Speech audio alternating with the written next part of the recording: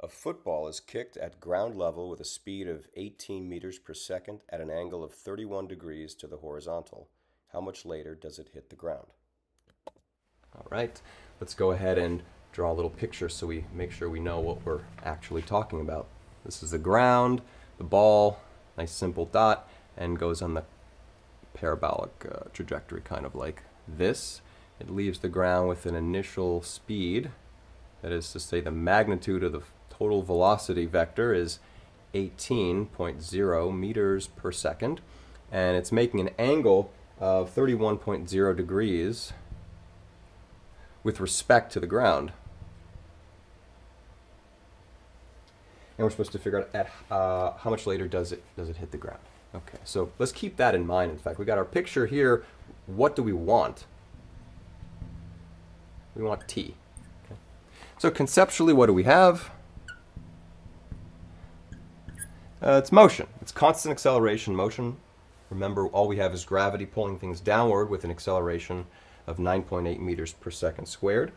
Uh, this time we're doing things in two dimensions because this is projectile motion. So we might call this, uh, broadly speaking, projectile motion. Okay. The equations within projectile motion, there are two sets. There's a set for the x direction and a set for the y direction um, I can list it once, let's say in the y direction, and then you know immediately what the x equations must be.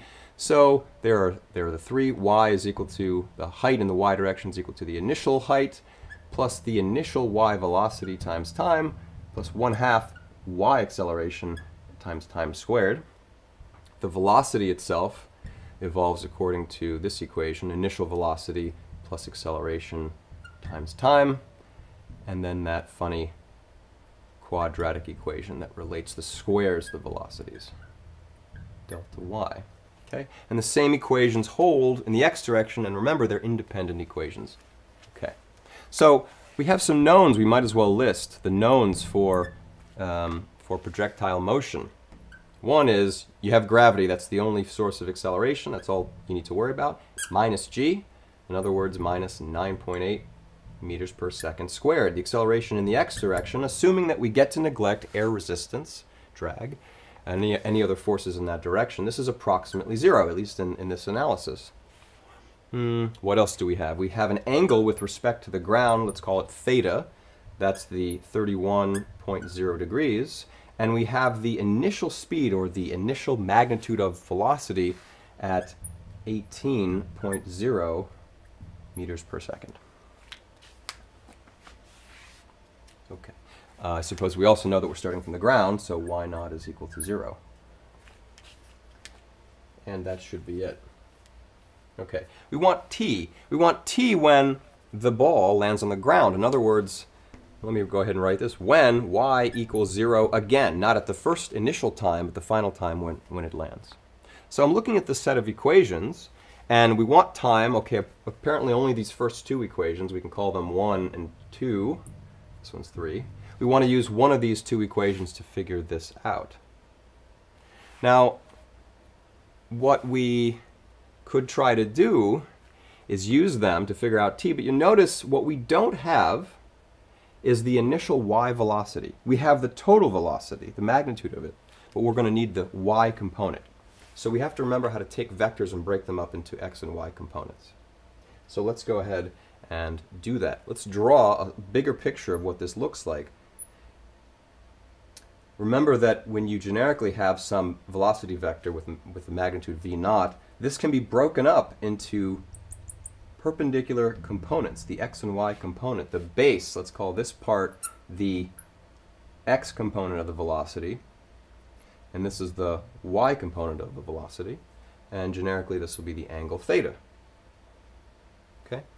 So remember, what you end up creating here is a right triangle, and therefore you can relate the three sides of the triangle to each other with sine, cosine, or tangent.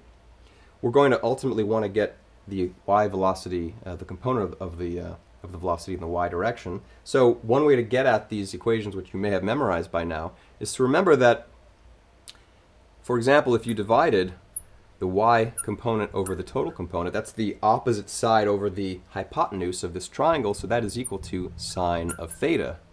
In other words, the y component is the total magnitude times sine of theta. You put in 18.0 meters per second times the sine of 31.0 degrees, and you'd find that this is 9.27. It's either a 7 or a 1, but hopefully it won't affect our results too much. That's our initial y velocity. So the good news is, now that we look ahead at, at the equations we have, we can, for example, use this first one. I think that will be best because we know the initial y and we know the final y as well. It's going to be 0. So that means we're going to know this, we're going to know this.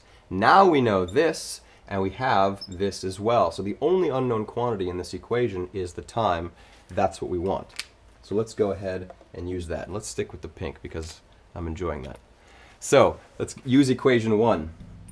The final y position when it hits the ground, that's 0. The initial y position was 0 plus the initial y velocity, that's the 9.27 meters per second. I'm going to just put parentheses around that to make it look prettier, times the time, plus the 1 half, the y acceleration is the minus 9.8 meters per second squared, times t squared.